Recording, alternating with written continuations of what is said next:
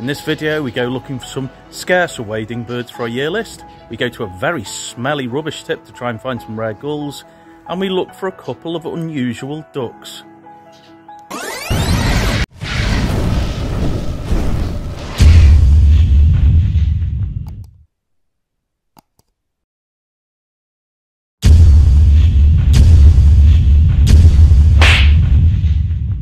Our day started with a drive down the Wirral to Burton Mere wetlands. Hey folks, if you can hear us past the geese, um, they're making a right racket. Oh, they're chasing each other off now. We are at Burton Mere wetlands to see if we can pick up any more birds for our big year. Stick with us, let's see if we can find some. After arriving, our first port of call was the bird feeders that were near the visitors centre. These are frequented by a lot of small birds, mainly the common stuff, like your chaffinch and blue tit and great tit also. Amongst all these small birds at the hectic bird feeder, I did spot this lovely little coal tit that was sat in a nearby bush. There was also a very expectant customer sat under the bird tables, hoping for dropped morsels. We left these birds behind and walked round towards the first screen, passing en route this moorhen who was walking across the path. When we arrived at the screen, we peered out to see if we could see anything at all through the mist. We could see a few birds, including this Canada goose, and a little bit further up a bird I did expect to see here, which was the resident great white egret. This time it was stood in its regular spot. At one point it became quite animated as it jumped to try and get a fish. It failed but landed in quite deep water so flapped around until it reached the shallows again. Another species that was present on this misty pool was this adult little grebe that was fishing. Our next stop on the trail was Marsh Covert Hide. This hide is in the middle of a bit of a reed bed. It can be a little hit and miss though, sometimes being great and sometimes being quite quiet for birds. On this occasion, it was reasonably quiet. We did see some of the more common species like mallard and coot, and from the other side of the hide we saw a pair of gadwall dabbling in some waterlogged grass. Hey folks, um, not too much at Mar Marsh Covert Hide, just some normal stuff, mallards and gadwall and herons and such. Um, we're heading now to the bridge screen and then up to Burton Point to have a look over the estuary, see if we can find some ruddy shelduck which have been reported here. Mr. Hopin. Mr. Hopin, and then on to uh, Border Hide, which is the furthest most hide on the reserve. So stick with us, let's see what we can find. The bridge screen looks over a pool, and the first thing was pretty amazing. Firstly, it seemed like our friend the great white egret had moved on with us, or it had a friend. The amazing thing wasn't the great white egret, it was that every single local heron seems to have landed here. They were all by the side of the reeds or in the reeds roosting or preening. I counted something like 27 of them. I'm sure that's the most I've seen in one place before although they do have a pretty active heronry here, so it's not really that surprising. Continuing to look around us, there was a very close little egret that was almost by our feet. It was feeding him some short reeds and seemed completely oblivious to the onlookers.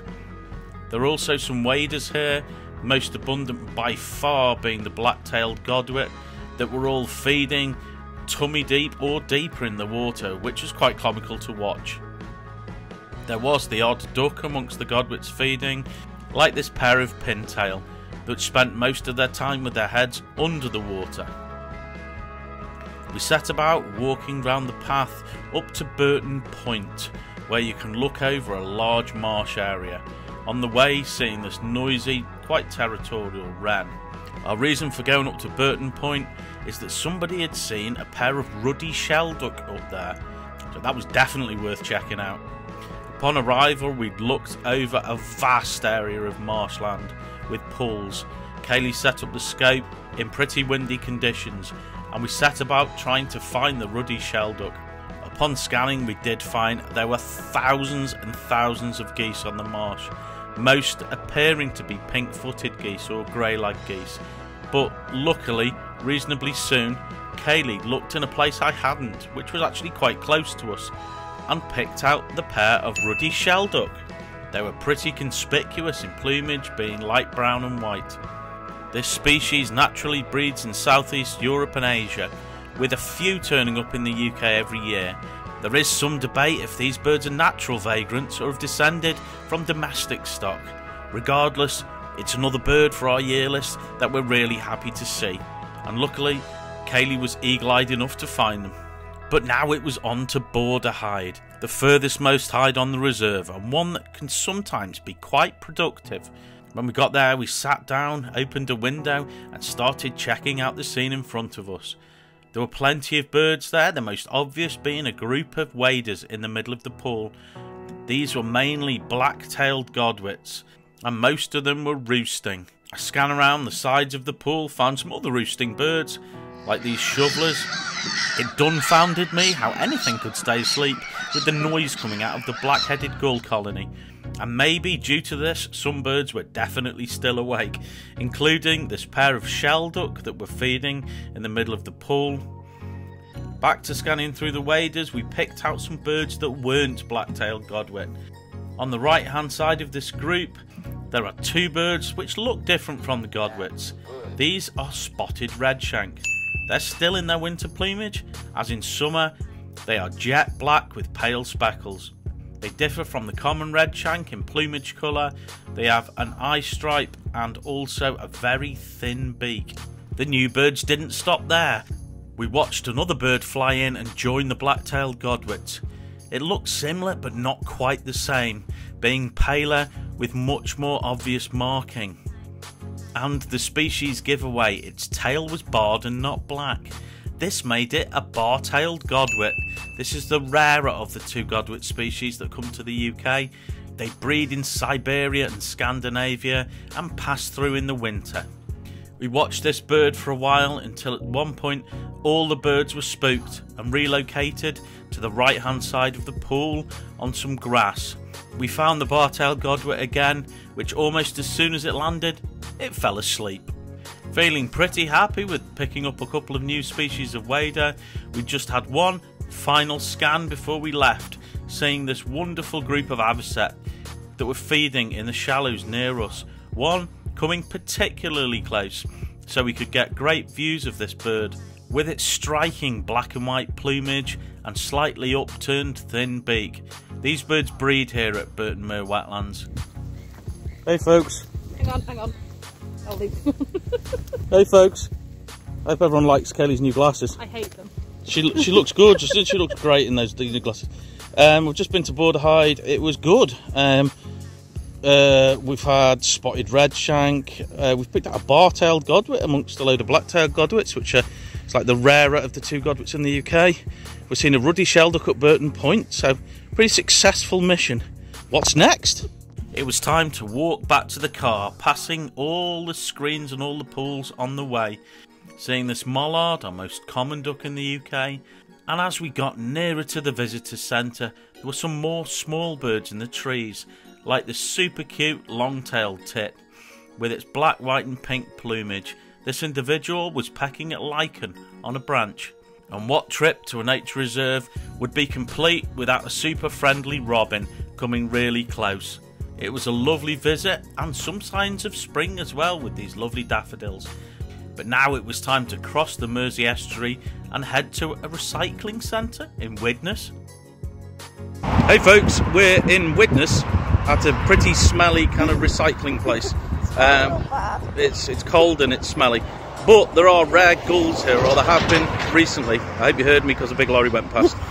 Um, so we're going to have a search through the gulls. There's been Caspians, yellow leg, the Iceland gull, that Kumlien's gull we saw last time. There's been all sorts. So stay with us, see what we find. Walking up to this refuse tip recycling centre place, there was a horrendous smell, as you'd expect, but there were thousands of gulls here flying around trying to pick out morsels of food from all the rubbish. Historically, I've heard reports of this being a superb place to pick out all sorts of rare gulls, and the Kumlien's subspecies of Iceland gull that we saw in a previous video frequents here as well as the estuary nearby where we saw it last time. We first looked over a fence onto one of the roofs that was surrounding the facility where lots of the gulls were landing in between picking up morsels from the rubbish. There were so many different gulls here, it was difficult to differentiate species. There were certainly plenty of herring gulls, a lot of adults, and also young as well.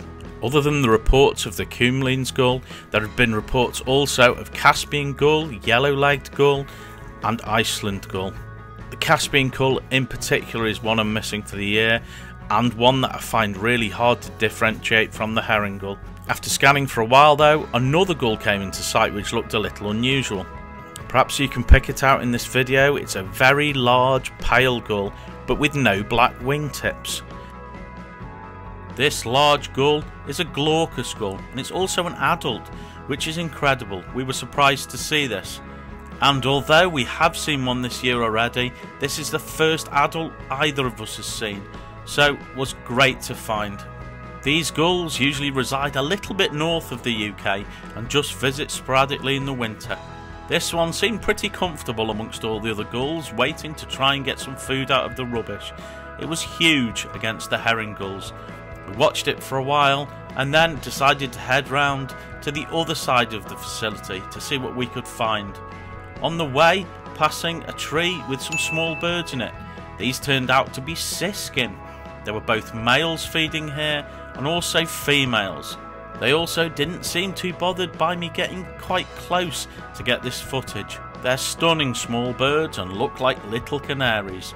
Upon arriving at the front of the buildings, there were more gulls than before, most flying round or sat expectantly on the roof waiting for another bin van to come in. Kaylee set the scope up and tried to scan through them, but it was almost impossible to pick anything out as there were so many birds and they were all very mobile.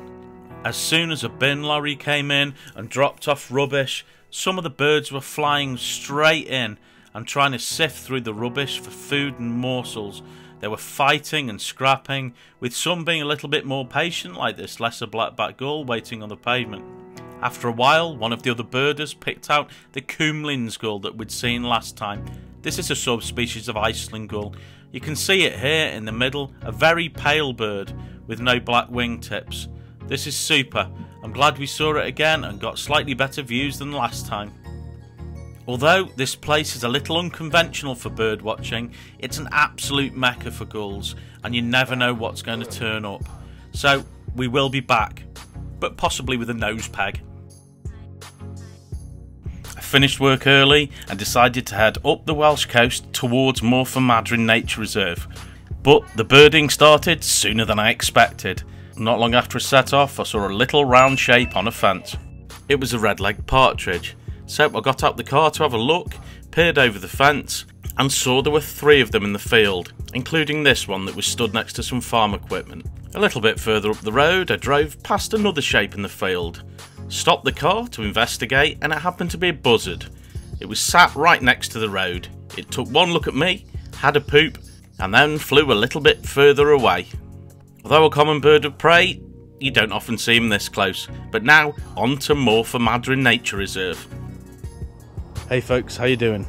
I am at Morfa Madryn Nature Reserve, which is on the North Wales coast near Conwy. I've come here, I was working nearby and thought I would pop in to see what they have here. It's usually pretty reliable for green shank, which we need for our year list. So uh, stick with me, let's see what I can find. This is a reserve I've only been to a few times as we've only reasonably recently found it, but it's really nice. A small reserve with a couple of hides looking over some flooded fields near an estuary.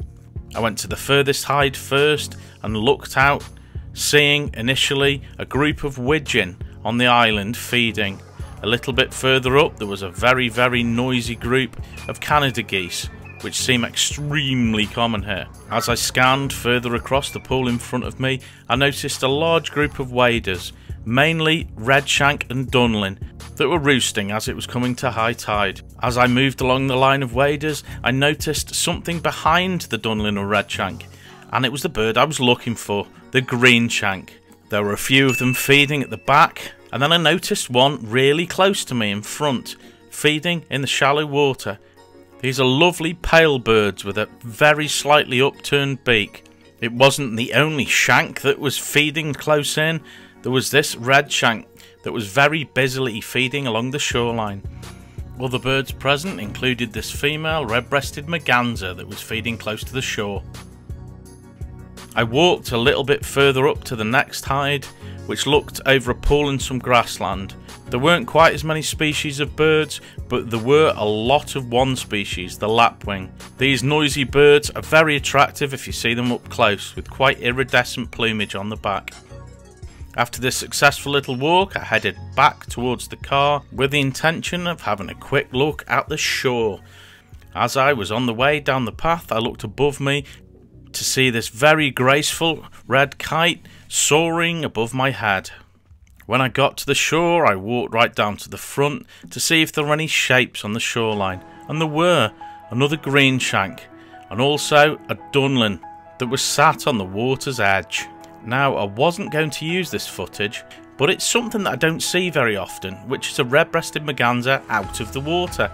This female came up onto the bank and had a flap, but unfortunately, now it was time to head home and leave Morfa Madryn behind. Hey folks, we're here at Cly Pools, not far from where we live.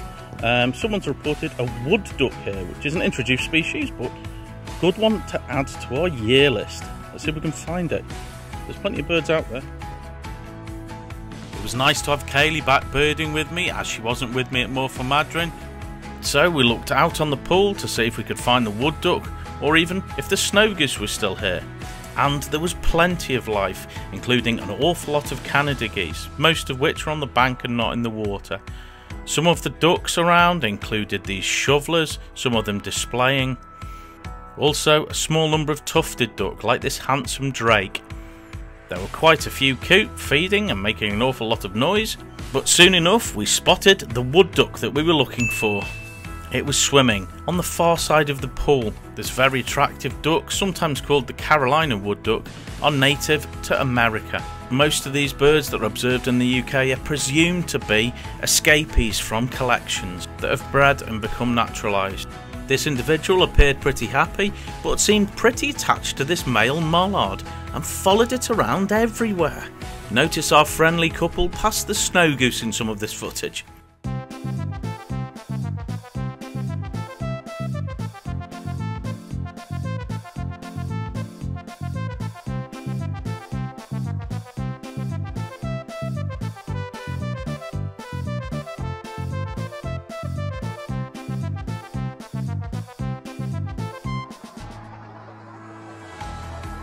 Although we've seen this bird here before, I don't want to leave it out because it in itself is quite a rarity.